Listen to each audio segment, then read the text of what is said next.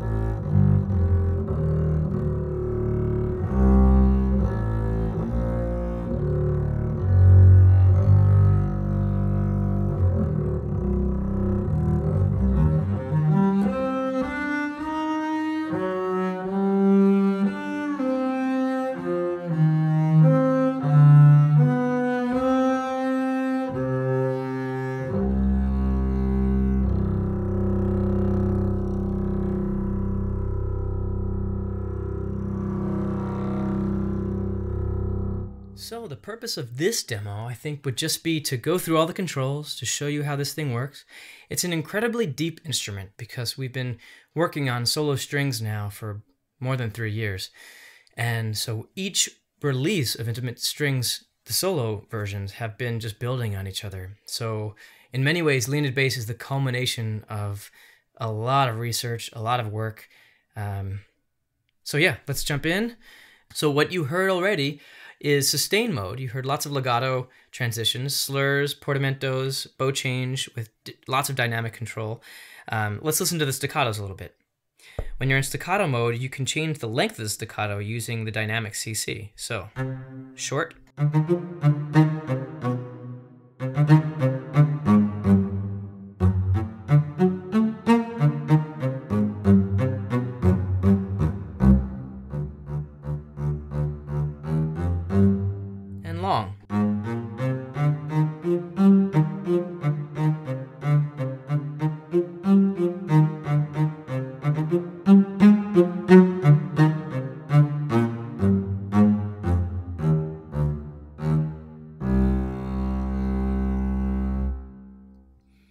Pizzicato.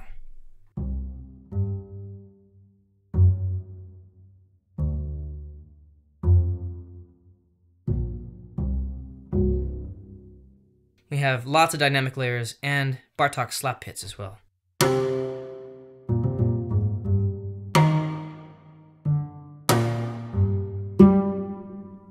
We mic'd uh, Lenny so carefully, and I think what we achieved is a really detailed sound. We avoided the boominess that you could definitely get with uh, such a monstrous instrument. Um, so there's a lot of clarity, there's a lot of richness, but the mic positions were really carefully chosen to make sure you, you didn't get um, frequencies and, and things that you don't want.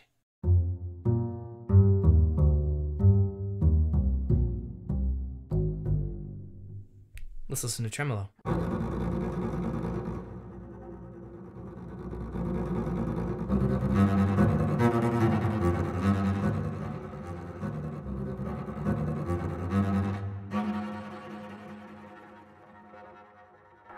Sul Pont.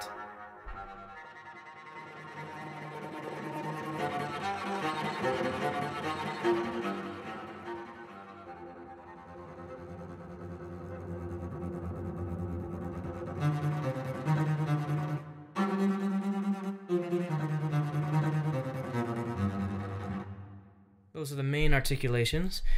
Notice here that you have sordino, so let's listen to that.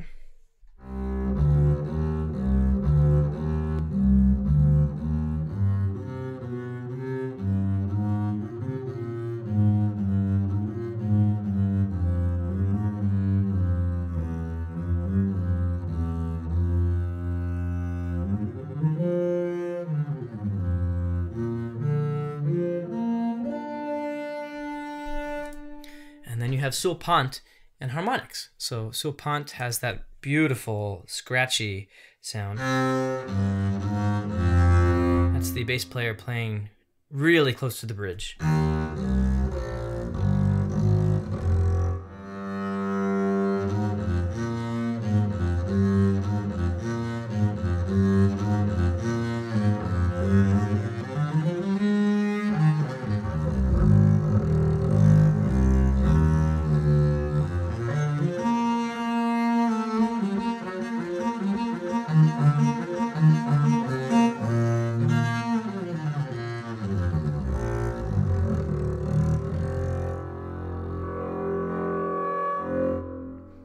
And then we have harmonics.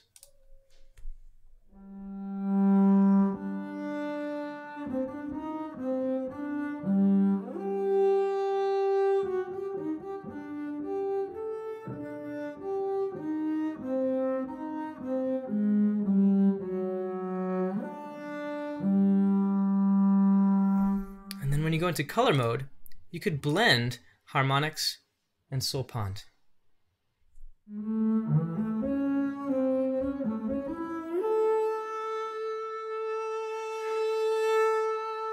And you can switch between that warm harmonic sound, which is really played when the bass player has certain nodes on the string. So um, in other instruments, it was sul pont and sul tasto that you were blending between. But sul tasto didn't work quite as well with the bass. So we still wanted to offer lots of color control. Uh, so instead, you're blending between harmonics and sul pont because uh, we felt color-wise that was a pretty good uh, comparison to sul tasto. So listen to the tone control that you have here.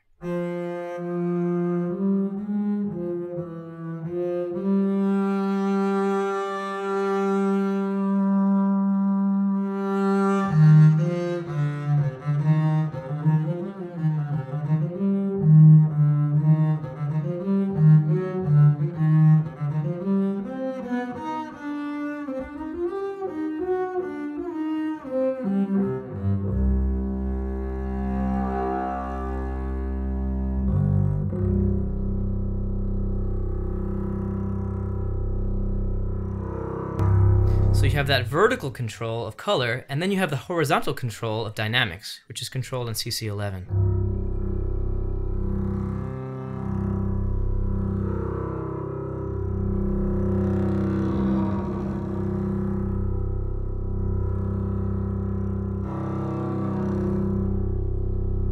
Such a huge and diverse range of color opportunities here. Um, it's kind of infinite, uh, just being able to blend dynamics and bow position at the same time.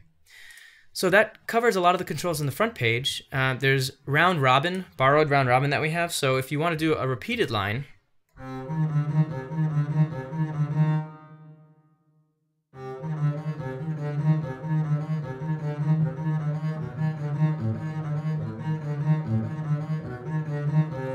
it uses neighboring samples to create the ability to avoid that effect, the kind of the machine gun effect of you're, you're hearing the same sample over and over again.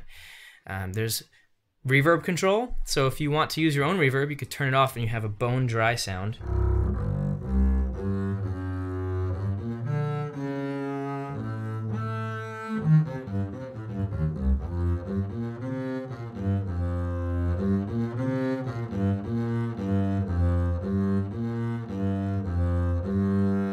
Let's turn color mode on without reverb.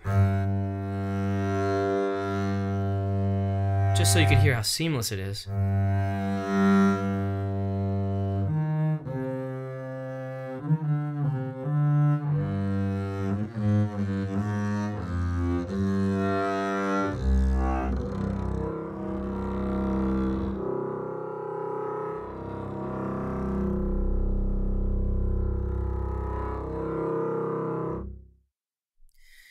If you don't want legato transitions and you want to be able to play lots of notes at the same time, then hit poly, hit the poly button. You could play chords. Let's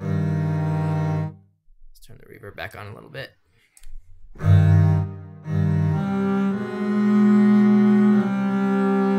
Which is extremely helpful when you're in ensemble mode.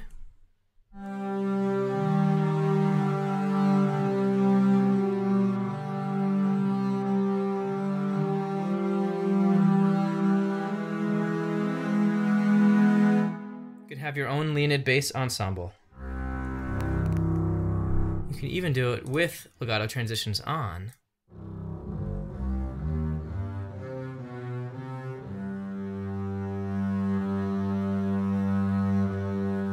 So you could hear all those beautiful colors uh, when you're in color mode. That applies in ensemble mode too.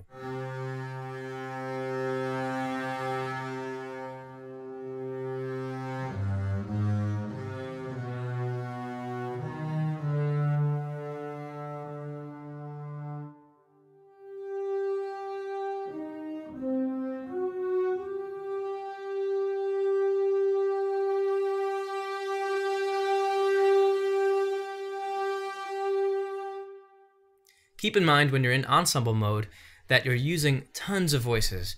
And then when you're in ensemble mode and color mode, you're using even more. So check out the voice count up here when I'm playing a line. Here, move the mouse.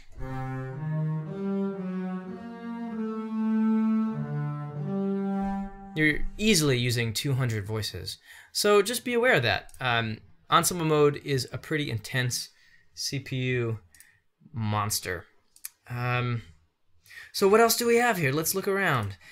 There are some new controls in the Leonid Bass that I can highlight. Um, there's a dynamic range dial. So when dynamic range is set to nothing, all you hear between the dynamics is the timbral change. You don't hear any volume difference.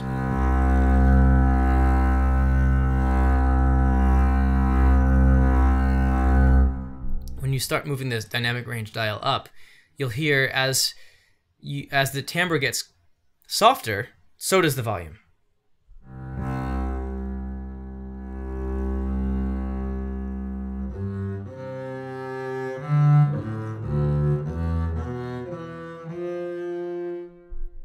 So you could set that to have whatever you'd like.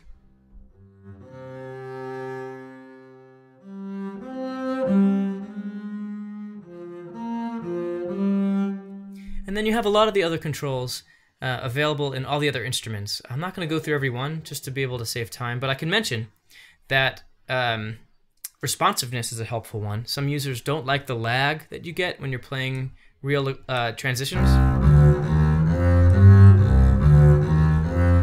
So it makes it snappier. What you're doing is you're moving the start time to the right. So every sample is now, ha it has a, a more aggressive start time, you'll notice you can't hear that beautiful bow sound as much when you make responsiveness too high.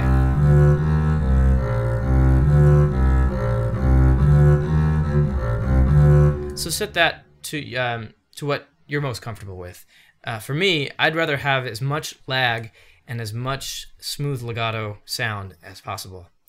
Um, yeah, so what we're going to be doing is we're going to start a series of videos that cover all the instruments because now we have four and the Intimate Strings solo series is complete. We have the violin, the cello, the viola, and the bass. Um, so there's going to be a series of videos that cover smaller concepts and uh, in little bite-sized chunks. Uh, so look out for that. In the meantime, I hope you enjoyed this. Thanks for watching.